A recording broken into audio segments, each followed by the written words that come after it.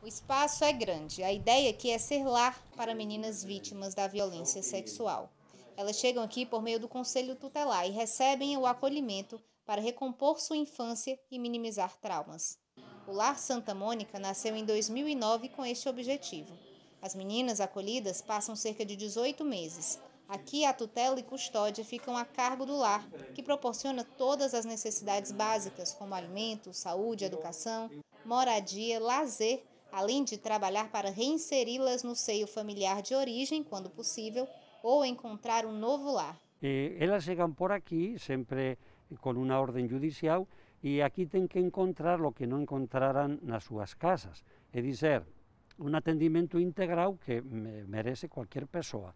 Então nós temos que proporcionar para elas eh, alimento, roupa, educação, saúde, lazer, esporte.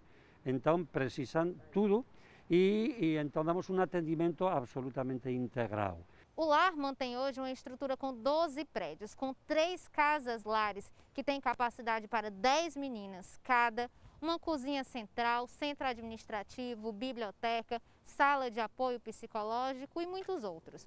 Mas manter toda essa estrutura tem um custo e não é barato. Mensalmente, o Lar Santa Mônica gasta algo em torno de 50 mil reais por mês para manter o projeto funcionando.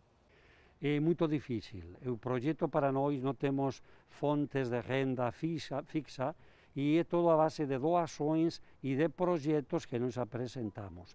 Então, às vezes os projetos aparecem, muitas vezes não são aceitos, e as doações, graças a Deus, o pessoal é muito, muito generoso. Alimento nunca nos falta, eh, material de higiene, roupa, graças a Deus e a colaboração de todos, não passamos necessidade, mas sempre uma preocupação constante. E depois as despesas são múltiplas, eh?